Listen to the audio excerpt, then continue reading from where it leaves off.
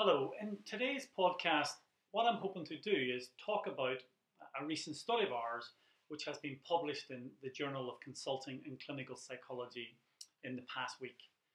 Um, but before I go into the detail of the study, I think it would be helpful to say something about the context in which the study has been conducted. So, first of all, it's part of a, a series of studies that we've conducted over the last number of years which are trying to understand the suicidal mind better. But crucially, we're trying to identify more specific markers of suicidal risk, which A will hopefully improve prevention and prediction, and in addition to that, hopefully also form the basis for the development of uh, psychological interventions, which we hope will reduce the risk of suicide attempts and obviously ultimately suicide. So since the 1990s, we have been conducting work looking at future thinking, and this work builds on pioneering research that Andrew MacLeod in London conducted, in which he was trying to better understand how we think about the future in terms of hopelessness and how that's associated with suicidal risk. So for 30 years or more, we've known that pessimism for the future, hopelessness, is associated with suicide attempts, suicide ideation, and crucially also suicide deaths. But a key question that Andrew MacLeod um, asked was, well, when we're thinking about the future, um, that can be at least two things. It could be that when we think to the future, it is that we're so overwhelmed with negative future thoughts. And it's this overwhelming pessimism uh, which is associated with suicidal risk. Or conversely, it may not be to do with the overwhelming negativity about the future, but rather that one cannot think of positive thoughts for the future or reasons for living. And so we developed a task, the future thinking task, in which essentially under experimental conditions, patients are asked to generate thoughts for the future. And they're asked what they're looking forward to, which are positive future thoughts, and they're asked what they're worried about, and the worrying thoughts, the negative thoughts, are negative future expectations. And in essence, you get two scores. You get a positive future thinking score, and you get a negative future thinking score. And what Andrew MacLeod demonstrated in the 1990s was, was what seemed to be crucial about suicidal risk was it wasn't necessarily to do with the overwhelming negativity about future expectations but rather it was the absence of positive future thoughts. So this key finding which was, when we're thinking about uh, the future, it is the absence of positive future thoughts which seem to be particularly associated with suicidal risk. And indeed then over a series of studies, using both case control designs and, and short-term predictive studies, we replicated that effect. We demonstrated time and again that the absence of positive future thoughts were crucially associated with suicidal risk. And indeed, in a paper uh, published in 2008, I think, uh, in the Journal of Affective Disorders, we looked at the relative predictive utility of the positive future thinking task, compared it to the Beck hopelessness scale, a global measure of hopelessness, or a measure of global hopelessness, I should say, and we asked the question, which is a better predictor of recovery following a suicide attempt? And what we found was that in terms of the subsequent two to three months, that the absence of positive future thinking, as assessed through the positive future thinking task, was a better predictor of how suicidal somebody was and, the extent of recovery compared to hopelessness. And so there was a series of studies building nice consistent evidence demonstrating that the absence of positive future thinking is important in understanding the suicidal mind and indeed, this would suggest that if we're trying to develop interventions around the whole notion of hopelessness, that we need to focus in on the absence of positive future thinking rather than maybe the traditional focus on the negative future expectations.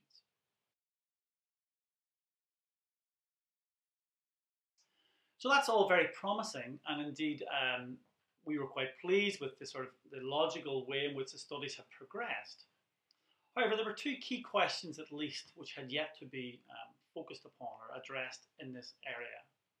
The first was that to our knowledge, no studies had looked to see if I assessed future thinking, say when an individual is in crisis following a suicide attempt, is it useful in a predictive way to identify those individuals who are more likely to try and kill themselves in the future in the longer term, say beyond 12 months or say 15 months, as, as the study we've, we've conducted um, looked at.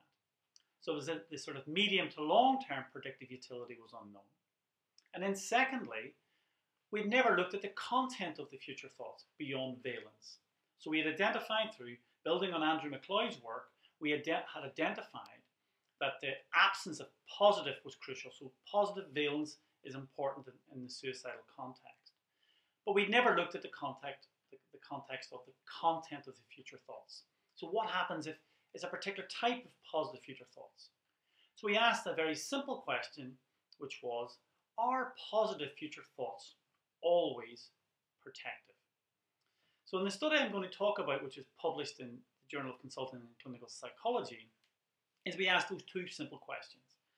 Has positive future thinking got predictive utility beyond the short term, say two to three months following crisis? And secondly, are the content of the future thoughts important if we're trying to understand uh, that predictive utility? So to do this, we um, followed a sample of, I think it was 388 uh, individuals who had been admitted to hospital following a suicide attempt.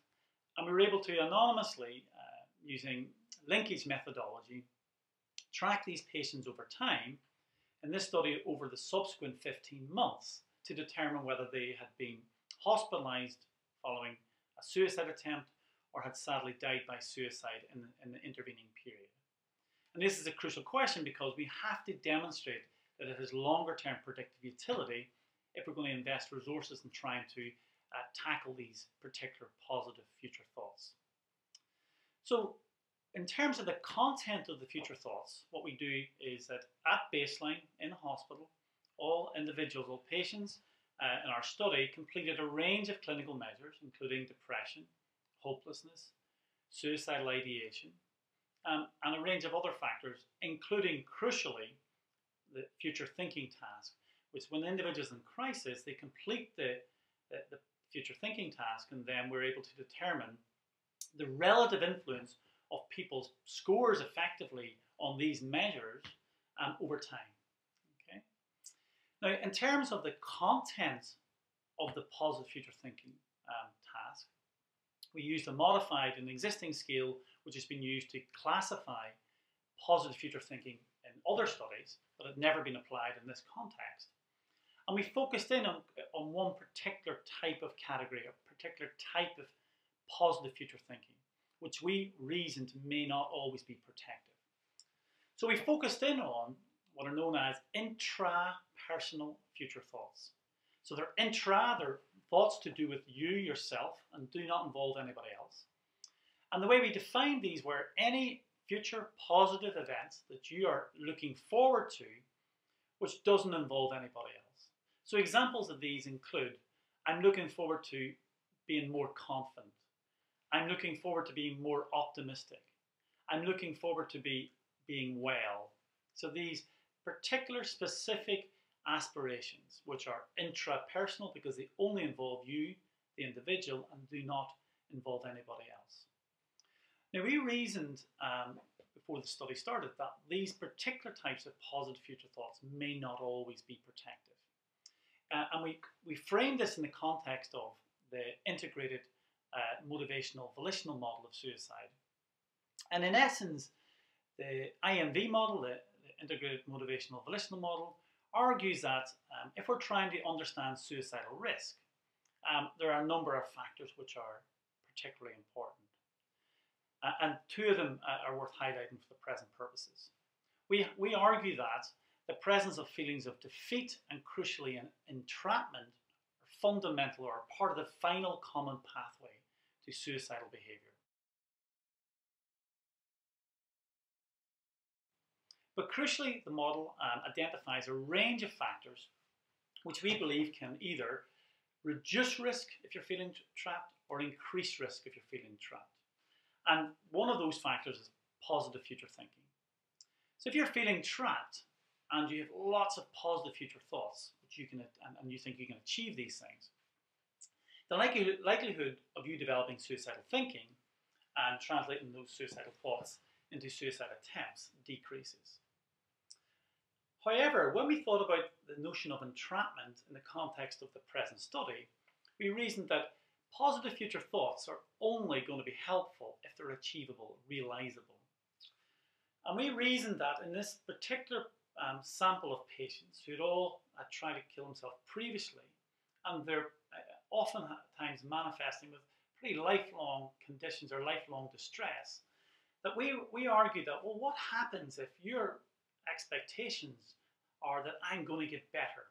Your expectations are that, that, that I'm going to be less depressed, I'm going to be more confident, or whatever the future expectation is that if you have lots of these, these intrapersonal future thoughts, which over time you realize are not achievable, that we reason that your risk of a, a repeat suicide attempt might be elevated.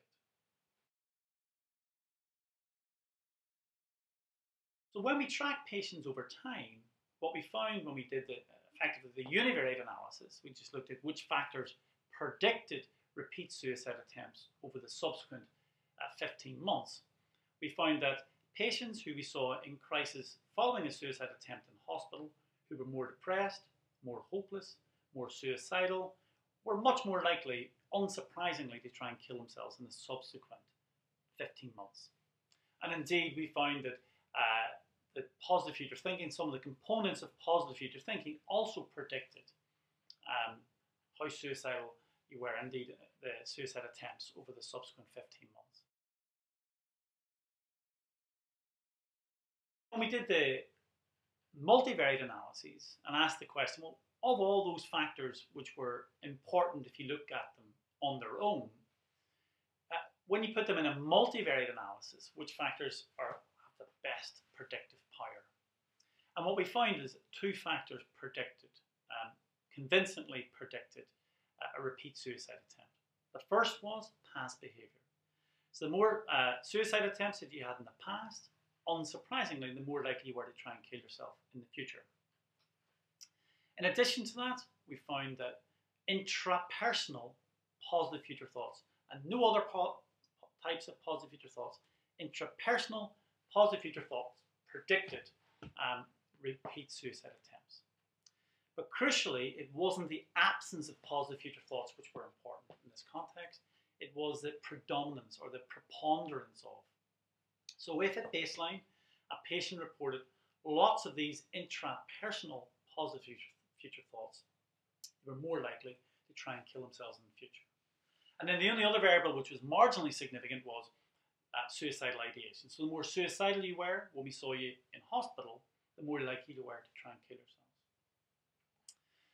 So taking these findings together, we think um, there are a number of important implications. I think what they suggest, first of all, is that uh, positive future thoughts have an important role to play if we're trying to understand suicidal risk.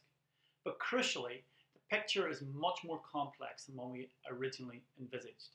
So 10 years ago, we thought it was all about the absence of positive future thoughts. And indeed, there is some evidence that, in general, the absence of positive future thinking is important. But what this study adds to the research um, evidence is that we need to look at the content of the positive future thoughts. And what our data suggests is that positive future thoughts are not always protective. And indeed, intrapersonal future thoughts, this particular type of future thinking, may indeed be uh, deleterious. So if you have lots of positive future thinking of this particular type, and the hypothesis is that these positive future thoughts are not achievable, it may compound the existing problems. And according to our theory, we would believe that that increases the likelihood. Um, it, it makes the feelings of entrapment even worse, potentially. And then thereby increases your risk of, in this case, repeat suicide attempts. So an obvious question then is, well, what are the clinical implications of this study? I think what they suggest is, um, as noted already, is that we should not just treat positive future thoughts as uniformly positive.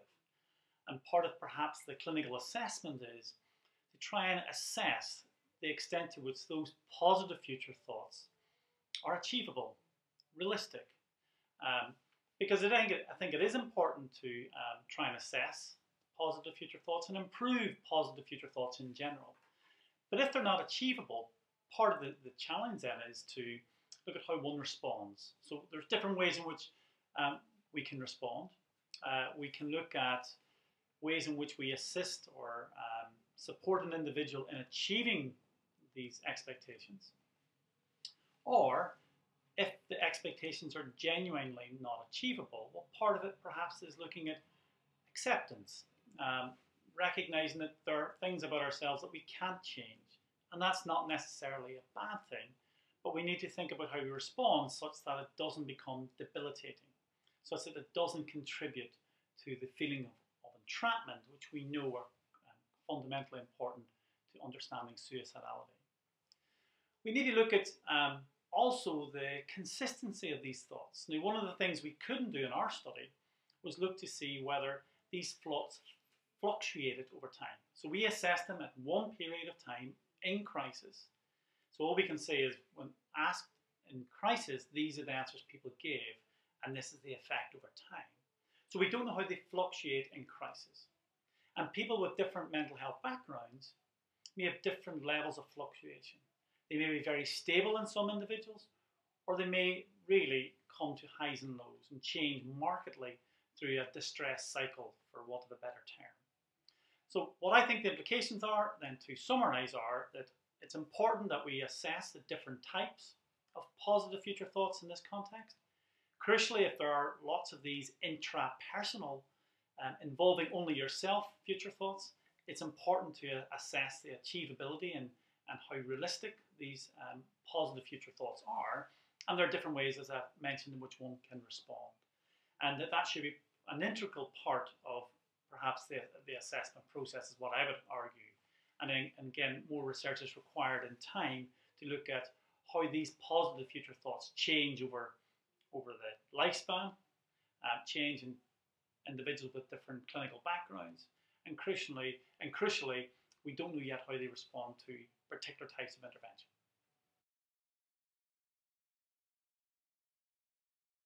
We think these are pretty exciting um, findings um, in a high-risk group, large sample of patients who've um, tried to kill themselves previously.